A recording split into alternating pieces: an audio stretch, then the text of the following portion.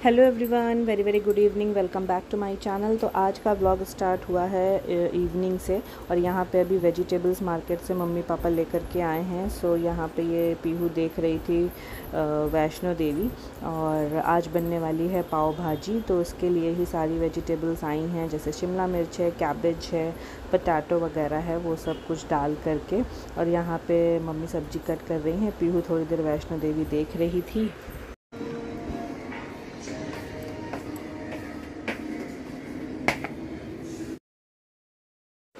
तो ये सारी सब्ज़ियाँ हम लोग पाव भाजी में डालते हैं। बहुत सारे लोग हैं मुंबई में, यहाँ पे मैंने देखा है कि बैगन वगैरह भी नहीं डालते कैबेज भी नहीं डाला जाता है। सिर्फ़ ज़्यादा करके उसमें आलू ही होता है, या फिर कालीफ्लावर वगैरह डाल दिया तो डाल दिया। बट हम लोग ज़्यादा से ज़्यादा वेजिटेबल डाल देते हैं, जैसे कि गोभी पत्ता गोभी बैगन, शिमला मिर्च और यहाँ पे मैं सब्जियों को बॉईल करने के लिए रख रही हूँ। मम्मी बैठी थी, वहाँ पे सब्ज़ी वगैरह कट कर रही थी। तो मैंने कहा, चलो मैं इसको कुकर में रख कर के आती हूँ। और बस थोड़ा वही शाम का जो थोड़ा बहुत काम होता है, वो सब यहाँ पे चल रहा है। बारिश हो ही रही है।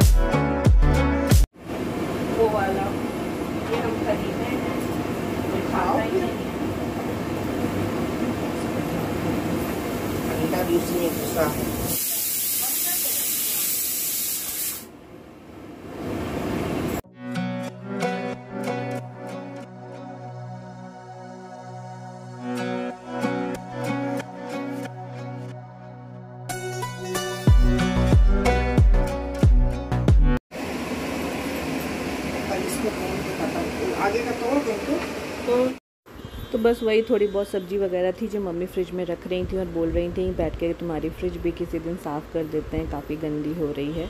और यहाँ पे ये पाव भाजी को छोंकने के लिए सिंपल सा वही तरीका है, थोड़ा सा ऑयल लेकर के इसमें प्याज और टमाटर को अच्छे से भून लेते हैं। आप चाहें तो आप इसको मिक्सी ग्राइंडर में भी पीस सकते हैं। मैंने चॉपर में ही चॉप कर दिया है।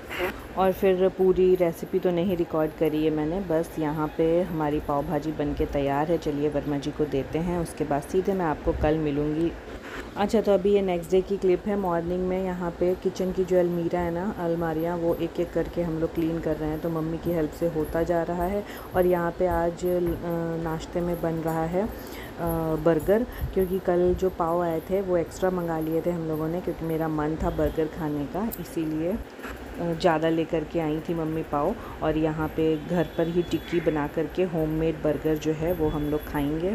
तो चलो, बन गया है मेरा बर्गर सुपर यमी और मैं खाती हूँ इंजॉय करती हूँ अपने इस बर्गर को। उसके बाद मिलती हूँ आपको।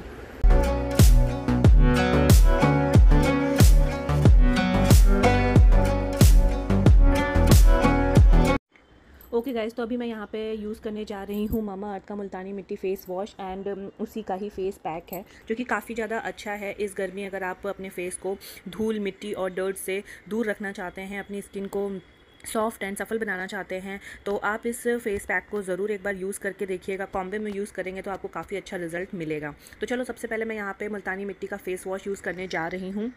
तो मैं आपको इसका इंग्रेडिएंट बता देती हूँ। ये है मुल्तानी मिट्टी एंड बल्गेरियन रोज से मिलकर बना हुआ है। मेड सेफ़ है डर्माटोलॉजिकली टेस्टेड है ऑल स्किन टाइप सूट करता है एंड ये हंड्रेड एम का ट्यूब है। तो जैसा कि मैंने आपको बताया, इसमें मुल्तानी मिट्टी और बल्गेरियन रोज़ है। तो मुल्तानी मिट्टी का काम क्या होता है? आपकी स्किन को टाइटन बनाना आपकी स्किन में जो भी एक्स्ट्रा मॉइस्चर होता है स्वेट होता है, उसको एब्जॉर्ब करना और आपकी स्किन को अच्छे से फर्म करना। तो मैं इस फेस वॉश को और पैक को काफ़ी टाइम से यूज़ कर रही हूँ। ये हार्मफुल केमिकल से फ्री है एंड नेचुरल इन्ग्रीडियंट हैं। अगर आप इस पर, इसको परचेज़ करना चाहते हैं तो मैं लिंक दे दूँगी नीचे डिस्क्रिप्शन बॉक्स में। साथ में अपना एक कूपन कोड दे दूँगी बुलबुल ट्वेंटी जिससे कि आपको एक्स्ट्रा ट्वेंटी ऑफ़ मिलेगा मामा अर्थ डॉट इन एंड उसकी ऐप पर। यूज़ करने का तरीका आप देख रहे हैं कितना ईजी है एंड सिंपल सा थोड़ा सा लेकर के मैंने लगा लिया है और आप इसका बिफोर एंड आफ्टर लुक भी देख सकते हैं।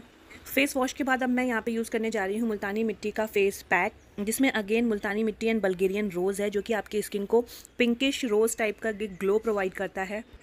आपको पता होगा मामा अर्थ के जो प्रोडक्ट हैं, ये मामा अर्थ की वेबसाइट पर, उसकी ऐप पर अमेजोन नायका फ्लिपकार्ट की पर्पल पर तो अवेलेबल हैं ही हैं। साथ साथ ही आपके नियर बाई लोकल स्टोर पर भी इजीली मिल जाते हैं। तो चलिए इसके पैक को अप्लाई करते हैं और इसका भी आपको मैं बिफ़ोर और आफ्टर लुक दिखाती हूँ। काफ़ी ज़्यादा अच्छा है गुडनेस से भरा हुआ है और ममा जितना प्लास्टिक यूज़ करता है, उससे कहीं ज़्यादा ये प्लास्टिक रिसाइकल करता है। ये हमारी इंडियन ब्रांड है एंड ममा अर्थ ने अपनी एक ऑफिशियल ऐप भी लॉन्च कर दी है। User get early access to sales and get extra discount. तो मैं आपको लिंक दे दूँगी नीचे डिस्क्रिप्शन बॉक्स में। बिल्कुल भी मिस आउट मत करिएगा। अगर आप लेना चाहते हैं तो आप मेरा कूपन कोड ज़रूर यूज़ करिएगा। आपको एक्स्ट्रा ट्वेंटी परसेंट ऑफ़ मिल जाएगा। तो देखिए, मैंने यहाँ पे अपने पैक को अप्लाई कर लिया है। आपको यहाँ से दस से पंद्रह मिनट अपने फेस पे इसको अप्लाई करके रखना है। ये जब टाइट होने लगेगा, सूखने लगेगा तो आपको पंद्रह मिनट बाद अपने फेस को आराम से वॉश कर देना है प्लेन वाटर से। अगर इसके प्राइस की बात करें तो ये है थ्री फोर्टी नाइन रुपीज़ का एंड हंड्रेड ग्राम का ये प्रोडक्ट है। तो यहाँ पे मैंने अपने फेस को वॉश कर दिया है और अब आप बिफ़ोर और आफ्टर लुक देख सकते हैं, काफ़ी ज़्यादा अच्छा ग्लो आया है सो आप ले सकते हैं।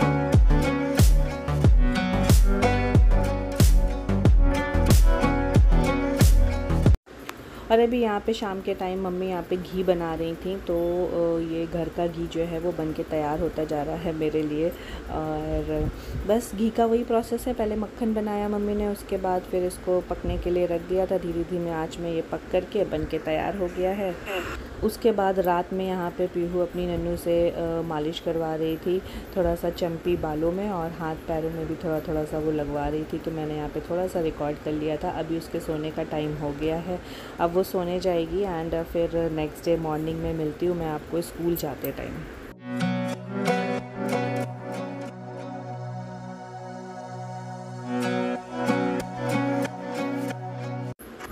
तो बस यहाँ पे सुबह सुबह का टाइम है। पीहू को स्कूल के लिए रेडी कर रही हूँ और वर्मा जी भी बैठे हुए हैं। सुबह सुबह बच्चों को तैयार करना बहुत मुश्किल वाला काम होता है। पहले तो उसको उठाना।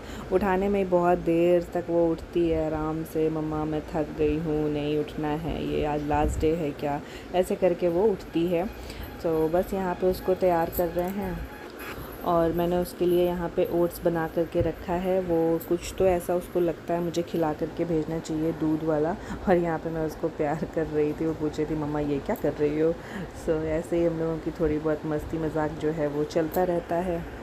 यहाँ मैं तैयार करते करते ये सोच रही थी कि आगे कैसे पीहू तैयार होगी, कैसे मैनेज होगा सब कुछ काम जब आगे आने वाले टाइम में कैसे मैं करूँगी, अभी तो मैं उसको कैसे ना कैसे करके तैयार कर लेती हूँ। फिर कौन करेगा? वही सब बातें सोच के मुझे बहुत टेंशन हो रही थी पीहू के लिए। खैर, कोई बात नहीं।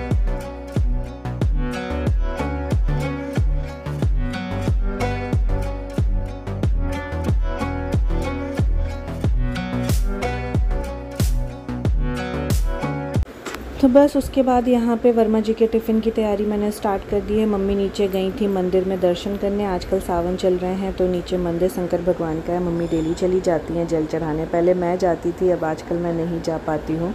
तो मम्मी हैं, वो तो डेली जाती ही हैं और यहाँ पे मैंने सोचा जब तक मम्मी नीचे दर्शन करके आएँगी, जब तक मैं सब्ज़ी छोंक दूँगी। वैसे मम्मी ही बनाती हैं आजकल वर्मा जी का टिफ़िन, बट अभी वो नीचे थी तो इसलिए मैं यहाँ पे आलू बैगन की सब्ज़ी छोंक रही हूँ। तो सिंपल सा आज टिफ़िन होने वाला है आलू बैगन की सब्ज़ी रोटी साथ में आ, कभी जैसे वर्मा जी को मैं लड्डू रख देती हूँ जो मम्मी ने बनाया है या फिर कुछ ड्राई फ्रूट मंचिंग के लिए या फिर कोई बिस्किट का पैकेट वगैरह जो उनको पसंद है उस तरह से करके टिफ़िन में पैक कर देती हूँ। आजकल दही नहीं ले जाते हैं वो क्योंकि बारिश की वजह से गला ख़राब होने का ज़्यादा डर रहता है कोल्ड होने का इसीलिए बाकी आप लोग बताइए, आप लोग के शहर का क्या हाल है? आजकल मुंबई में तीन दिन से हाई अलर्ट है। यहाँ पे डेली बारिश जो है, वो खूब ज़्यादा बारिश हो रही है। कल तो सारा दिन बारिश हुई है। बारिश रुकी ही नहीं कंटिन्यू बारिश होती ही रही। हल्की सी धीमी होती थी, फिर तेज़ हो जाती थी बट रुकी तो बिल्कुल थी ही नहीं। आप लोग बताइएगा, आपके शहर का क्या हाल है?